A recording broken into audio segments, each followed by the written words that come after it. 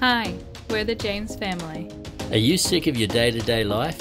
Ever thought about doing something different? Well, we did just that.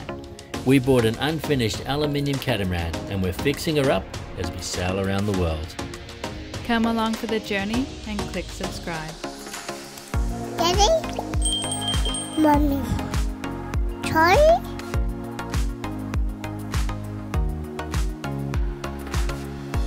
This week, we are setting sail in some heavy winds, and we're finding out whether or not our most valued crew member, Otto the autopilot, is fully fixed.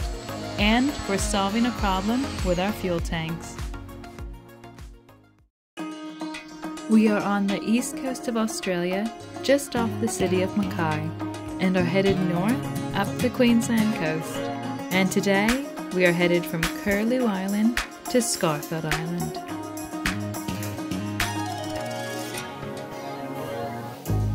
So we are en route to Scafell from Curlew Island and uh, we've got the head sail out and two reefs in the main and sailing along beautifully.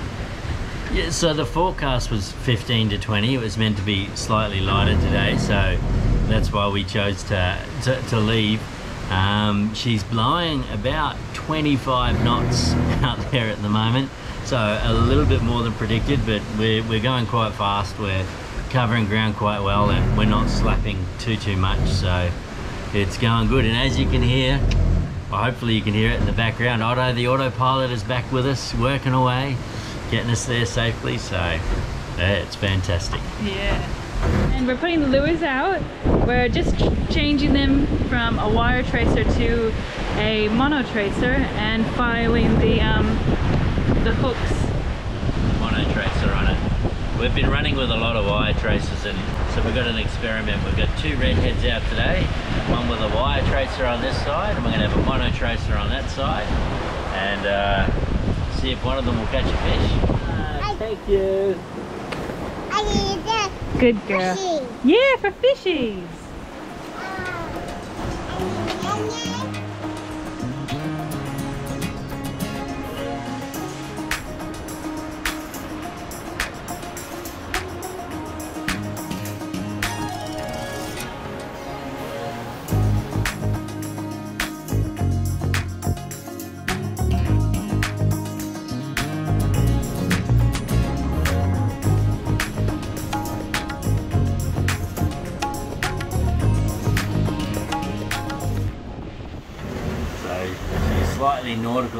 today. You can hear Otto the autopilot grinding away down there, uh, working very, very hard. And while all this is going on,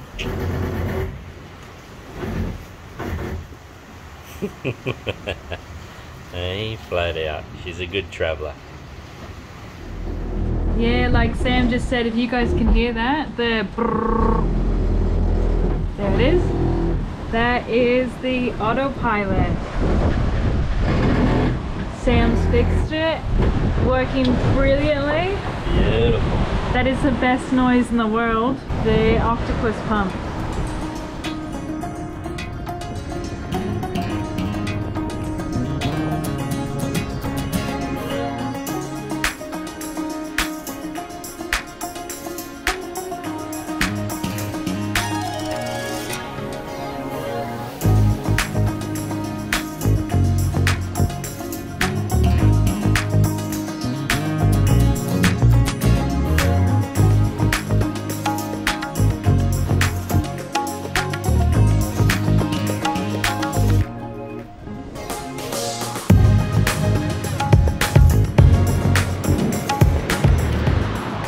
So we are going 8.5 knots. So what is that? Eight, um, about 29, 30 knots.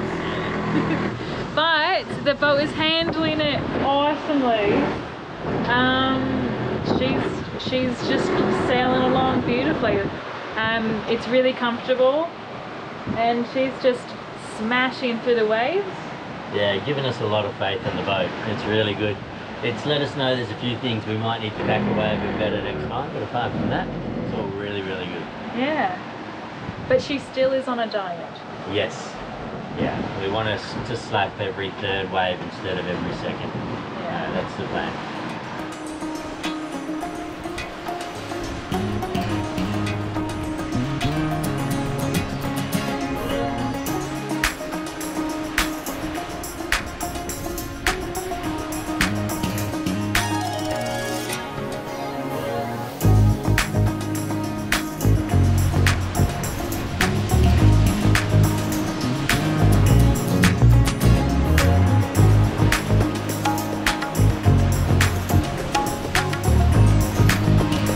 At this point, you might be wondering how the experiment is going with the lures the wire tracer versus the monofilament tracer.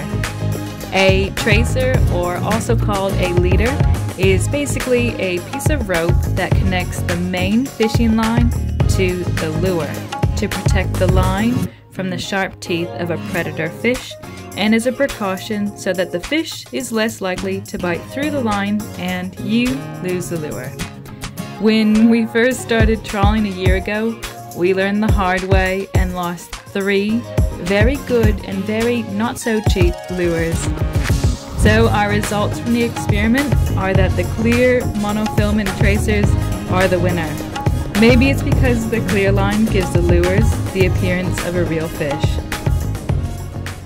So, we've arrived at Scafell in Refuge Bay. Uh, we had an awesome sail today. Uh, our average was 7.1 knots. We did 47 nautical miles and um, our highest speed was 12.3 knots. So we're super stoked. Yeah, Yeah. the boat's definitely getting better. Putting her on a diet has definitely helped, and she's feeling better. At the moment, what I found yesterday is we had a bit of trouble with the autopilot again. And what I believe it is, is she's just sort of dropping off and sagging in the bum. There's a bit too much weight aft with our engines, our water, and now the back lockers having a considerable amount of stuff in them. And what that does also is because we're slightly, I had a look, we're slightly trimmed by the stern. So what it does is it makes our mast lean back a little bit, which puts the center of effort aft when we're sailing, and that's what's contributing to a lot of our weather helm. So before we go sailing tomorrow, what I'm going to do is I'm going to go on the back lockers. We're so close to Airlie, it's only 50 mile or so away, so we can't really get rid of stuff now, but we're just going to move the weight forward. Uh, that way, the the bending moment will be a lot less, which is distance times weight. We'll bring it in, and that'll stop us dropping off those waves, sagging in the bum, and then having to load the rig up so much to get her going on every single wave. So that'll be the plan, and eventually we'll get rid of a little bit more weight out of the uh, back lockers, distribute it a bit better, and I'll have a, a closer look when it's not so windy, and do some trim marks on the hull just so I know what, if we are trimmed by the aft or the stern and to keep the boat a bit more level so the center of effort is a lot better balanced on the rig. It'll take all the weight off our rudders and our poor autopilot. Uh, we don't have any more fuses left so we want that autopilot to last till Airlie. We're so close but I don't want to hand steer so Yeah. fingers crossed. What we're doing is we're going to cut this bit of timber out here and make it a lot larger. What this here is, is this is our dipping point for our starboard fuel tank. And I've got quite fat fingers, I can't, it's a spring-loaded valve, and I can't get in there to open it to put the dipstick down the side. So if we cut that a little larger, the cover case will still cover the cut, still look aesthetically pleasing, and fit in there nicely. And that way, I'll be able to dip the tanks a lot more. So what we have here these are our, our two dipsticks for port and starboard. It's unusual because they do have different markings on them. One of our tasks is once we get low on fuel, we're going to go to a bowser and just put it in and mark every 20 litres on it. I'm keeping a little bit more of a closer eye on our fuel. We've got Kiwi props on, and uh, me being a Kiwi, uh, I should love the props, but at this stage, I don't believe they're quite suited for this boat and for the weight of this boat. They don't really give us much push, and so I'm keeping a, a closer eye on the fuel now to try and justify buying new props because I won't be able to buy just one. I'll have to buy two. And at this stage, we just got a quote back from Gori Propellers for the size of this vessel. It'll be around about eleven thousand dollars, and we can buy a lot of diesel for $11,000. So uh, I'm essentially just trying to justify the purchase because I really want new props. Um, let us know in the comments below what props you guys have and uh, what props you would recommend, and if any of you do have Kiwi props out there and um, yeah, they're working well for you, let us know that as well. So maybe we don't need to swap them, but I just think for heavier boats, we've got 18 and a half inch props and they're just not really giving us as much push as what I'd like them to give us. Hey.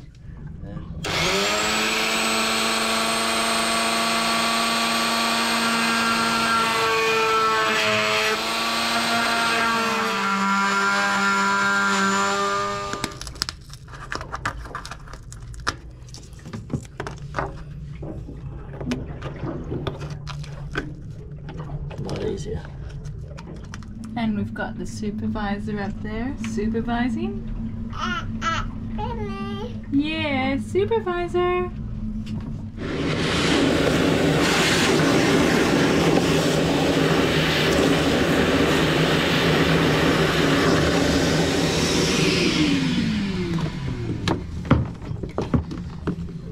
There we go. Perfect. Just a little bit of minor surgery. When we put this on, no one will ever know. But when we take it off, I can get my little fat fingers in there, open up the non-return, and put the dip down it. And then, yeah, keep an eye on our fuel consumption. So we have 600 litre tanks on here. According to the marks on here, we could probably fit more than 600 litres. Um, one thing that's slightly unusual is if we flip them around here, we see they don't actually match either side and uh, they're not uniform either. So, as in the gap isn't uniform between each and every mark either side. So, we're not a hundred percent positive that that this is the way it should be. The plans indicate that the tanks are exactly the same. That never always works out in reality, and we're definitely trusting these more than we are the plans because the previous owner was quite astute with this kind of stuff, and there's a very good chance these are 100% correct. The only thing we do want to do in the future is just put some more marks on here, so that way we can keep a little bit a closer eye on our fuel because 1200 liters of fuel on a, on a boat like this is a lot of fuel and uh, it takes us a long time to run the tanks down. But yeah to check them. You look here we're on the starboard hull which is this one. Now I can just get my little fat fingers in there open up the hole put it down the bottom. Give it a couple of bangs on the striking plate bring it back up let it sit on the top there and there we go. Our fuel level at the moment at a guess that's 300 litres so that'll be about hmm, 330 litres that's where we are on this side yeah that's another little boat job done for the day Thank you so much for watching. If you're enjoying watching our videos and want to help keep us afloat, consider jumping over to our Patreon page. The link is in the description below. And don't forget to hit those like and subscribe buttons, and we'll see you all next week.